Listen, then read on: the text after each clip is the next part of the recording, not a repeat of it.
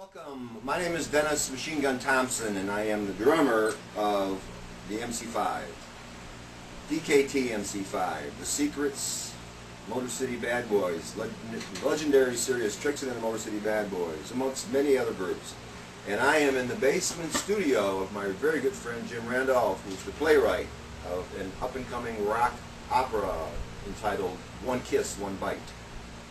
We're going to play a little bit of drums here, and um, I'm going to play a little rock and roll drums, but I'm going to I want to break it down for you for those of you who haven't uh, who think that drumming is looks so complicated, but it really isn't. I'll show you how simple it really is. That's why I'm a drummer. If it was complicated, I wouldn't be doing it. Basically, rock and roll is counted one, two, three, four. One, two, three, four. That's one quarter note four times in a measure. One, two, three, four. Measures are bars, uh, sections of a song. So in bass clef, you just count one, two, three, four, one, two, three, four. In rock and roll, the downbeat is always on one and three, and the upbeat, which is the snare drum, this main drum right here, this is on two and four. So let me show you something. Go one,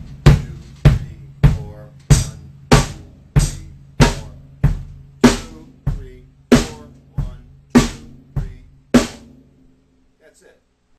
Four, one, two, three, four, two, three, four, one, two, three, four. That's it. That's rock and roll. It's that simple. I can take the same tempo. One,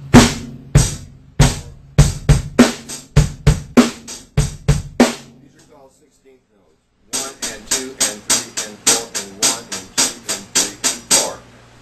There every rock and roll song just about you've ever heard.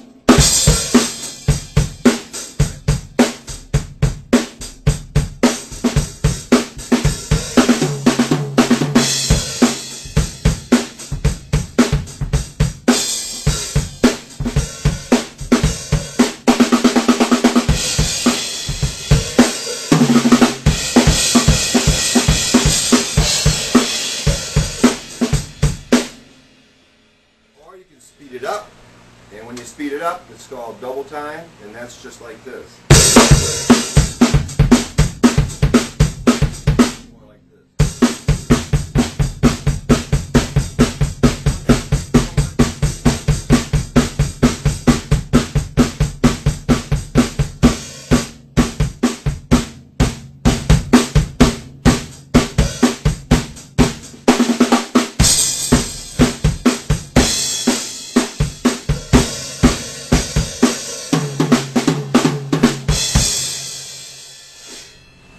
There's um, a little more complicated versions of 4-4. And uh, there's a song that the MC5 uh, wrote back in 1971 called Skunk. Sonically speaking, was written by Fred Smith, brilliant guitar player in the band. That's a six or seven minute song where I essentially play a solo throughout the whole song. And uh, by the way, guys, we did seven takes. And it's pretty hard for me to do seven takes today, so I'll just try and do it in one take. And basically, it's still 4-4, still 1, 2, 3, 4, 1, 2, 3, 4. But it's got a different beat, something like this.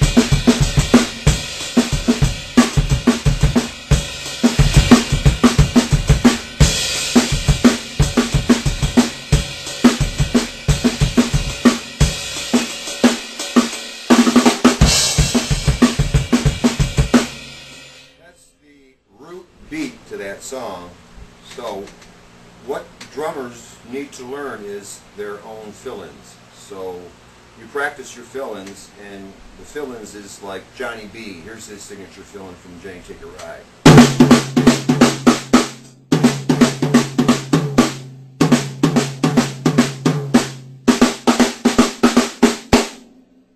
That's a fill-in. Here's another one for Skunk.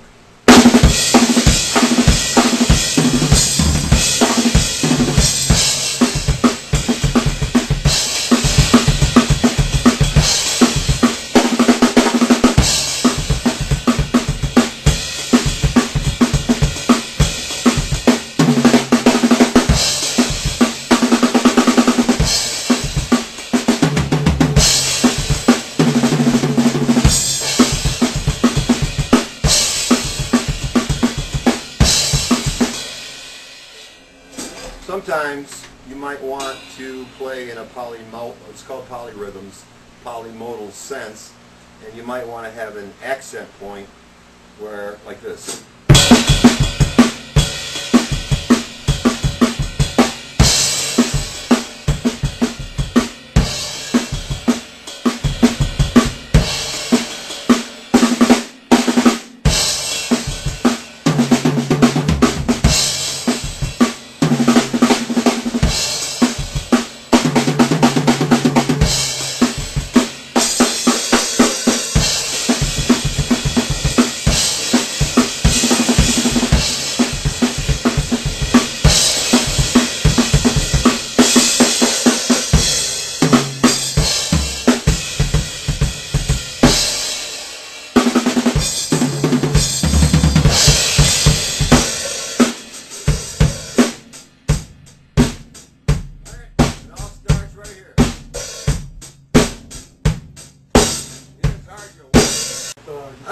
It